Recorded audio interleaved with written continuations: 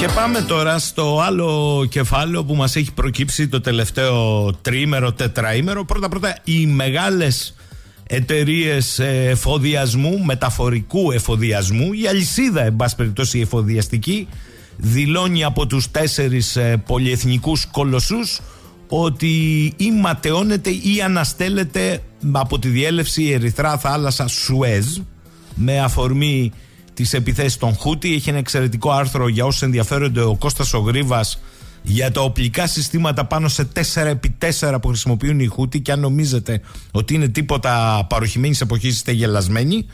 Anyway, που λένε και στα ελληνικά, τέλος πάντων, η BP ήρθε και είπε ότι αναστέλει και αυτή τις διελεύσεις. Οι Αμερικανοί είπαν θα κάνουν μια διεθνή δύναμη.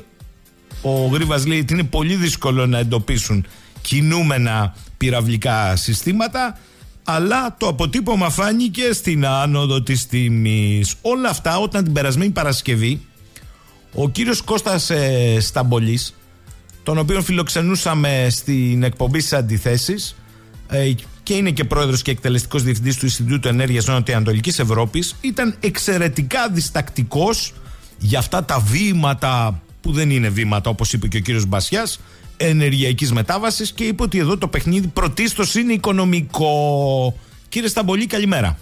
Καλημέρα σας κύριε Σαχίνη.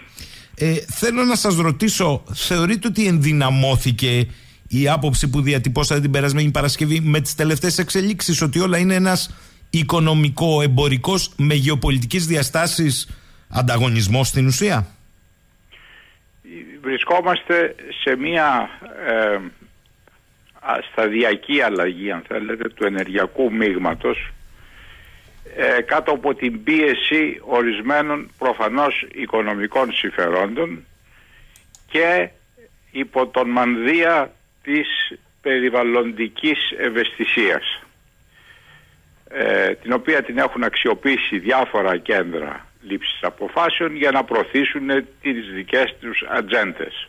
Είτε αυτό είναι σε τεχνολογικό επίπεδο ε, είτε είναι και σε κοινωνικό επίπεδο. Ε, στο κοινωνικό επίπεδο το θέμα της μετανάστευσης και της σταδιακής ε, αλλαγής του πληθυσμιακού μείγματος της Ευρώπης όπως εξάλλου αυτά τα έχουν γράψει και οραματιστεί και αρκετά πριν από το δεύτερο παγκόσμιο πόλεμο. Αυτή τη στιγμή βλέπουμε ε, τις άκρες αυτού τους, ε, του παζλ ή της παρτίδας παγκόσμιου σκακιού να προχωράνε κάποια βήματα παρακάτω. Το θέμα της ενεργειακής ασφάλειας είναι κάτι το οποίο υποβαθμίστηκε συστηματικά τα τελευταία 10, 15, 20 χρόνια, θα έλεγα τα τελευταία 15 χρόνια, από την Ευρωπαϊκή Ένωση, η καλύτερα Ευρωπαϊκή Διέρεση να την ονομάσουμε, ε, διότι θέλανε να προωθήσουν άλλες μορφές ενέργειας με, το, με στόχο την ανάδειξη της πράσινης τεχνολογίας με την ελπίδα ότι η Ευρώπη θα μπορούσε να εξάγει πράσινη τεχνολογία στο υπόλοιπο μέρη του κόσμου. Ε, και έγινε ακριβώς το αντίθετο, διότι αυτή τη στιγμή η Κίνα εξάγει την πράσινη τεχνολογία. λοιπόν, άρα βλέπουμε ότι το θέμα της ενεργειακής ασφάλειας που έχει υποβαθμιστεί συστηματικά το βλέπουμε πλέον ορθώνεται μπροστά μας μέσα από δύο παράλληλους πολέμους είναι αυτή τη στιγμή της Ουκρανίας η οποία ήδη είχε την επίπτωση το 22 την είδαμε ανάγλυφα αυτά στις τιμές. Ε, και τώρα στην Μέση Ανατολή στη Γάζα μεταξύ Ισραήλ και Γάζα όπου οι φόβοι που είχαμε ότι αυτή η κρίση θα επεκταθεί τη βρίσκουμε πλέον μπροστά μας. Και δεν επεκτάθηκε στον αραβικό κόλπο όπως πολλοί προέβλεπαν και ήταν λογικό λόγω της ανάμειξης του Ιράν αλλά το βλέπουμε στην Ερυθρά θάλασσα και στο πολύ ευαίσθητο πέρασμα του Σουέζ.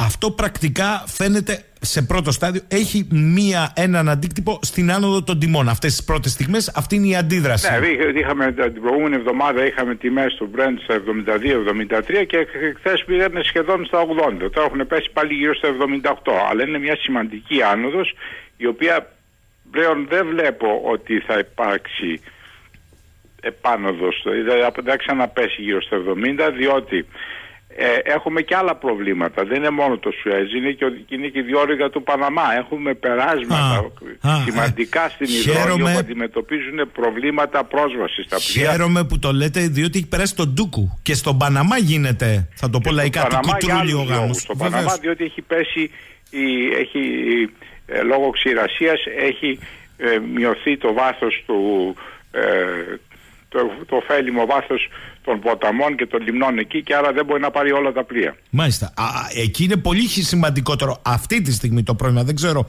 πώς θα εξελιχθεί στην Ερυθρά, αλλά υπάρχει ε, ζωτική σημασίας, ναι. άλλη υφή θέμα. Καλά κάνατε και το θίξατε. Άρα έχουμε δύο περάσματα σημαντικά στον κόσμο τα οποία αντιμετωπίζουν προβλήματα αυτή τη στιγμή. Το ένα για λόγους περιβάλλοντος και το άλλο για λόγους ε, αμυντικούς, λόγους πολεμικούς αν θέλετε. Αυτό κατά τη γνώμη σας δεν θα αποκλιμακωθεί εύκολα. Θέλω να πω ε, ενδέχεται να έχουμε νέα φρενίτιδα στις τιμές ή μπορεί να ξαναμπεί το παιχνίδι των αγωγών και από την πλευρά της ε, Ρωσίας και τα βάθη με μια άλλη εκφορά της κατάστασης στην Ουκρανία δεν, δεν γνωρίζω, ούτε μπορώ να, να μαντέψω. Αυτό όμως το οποίο βλέπω λογικά να γίνεται είναι ότι η κρίση στη Μέση Ανατολή δεν πρόκειται να ε, σβήσει, σβήσει εύκολα διότι ε, υπάρχουν πολύ συγκεκριμένα πράγματα που έχετε και εσείς αναφερθεί σε πολλές εκπομπές. Πρώτον, διότι το Ισραήλ είναι η χρυσή ευκαιρία του αυτή τη στιγμή να τελειώσει με τη Χαμάς, να επιβάλλει το δικό του καθεστώς μέσω της Παλαιστινιακής Αρχής και έχει την υποστήριξη των Αμερικανών και έμεσα των Ευρωπαίων. Λοιπόν, άρα αυτό δεν θα τελειώσει σε μία-δύο εβδομάδες. Θέλουμε κάποιους μήνες. Δεύτερον, το Ιράν έχει πάρει ανταλλάγματα. Ε, είναι σαφέστατο αυτό από την Αμερική και γι' αυτό έχει αυξήσει πάρα πολύ τις εξαγωγές την παραγωγή και τις εξαγωγές πετρελαίου. Πέρσι το Ιράν παρήγαγε 2,5 εκατομμύρια βαρέλια, σήμερα παράγει 3,5. Σε καθεστώς ε, κυρώσεων, sanctions. Και αυτό γιατί; Διότι οι Ηνωμένες Πολιτείες, το Αμερικανικό ναυτικό έχει σταματήσει να κάνει νιοψίες στα πλοία τα οποία υποπτεύεται ότι μεταφέρουν Ιρανικό πετρέλαιο. Υπάρχει μια ε, άτυπη σιωπηλή συμφωνία μεταξύ Ιράν και Ηνωμένων Πολιτειών με τη διαμεσολάβηση του Ομάν. Τι ωραία που τα λέτε και, και πώς μας εμφανίζετε ορισμένα πράγματα. Θέλω να σας ρωτήσω. Και γι' αυτό το Ιράν δεν έχει δημιουργήσει πρόβλημα με τη Χεσμολά. Δεν έχει κρατήσει τη Χεσμολά. Ε, Η Χούτης όμως που είναι άλλη πλευρά του νομίσματος είναι και πιο ελεύθερη. Αυτοί ε, έχουν μια σχεδόν αυτονομία. Όση αυτονομία μπορεί να τους δώσει μέσω εξοπλισμών το, το, το Ιράν. Θέλω... Λοιπόν, άρα το Ιράν κρατάει μια πίεση μέσω των παικτών του ε, στην περιοχή, αλλά στο, στο γενικότερο πλαίσιο τα έχουν βρει.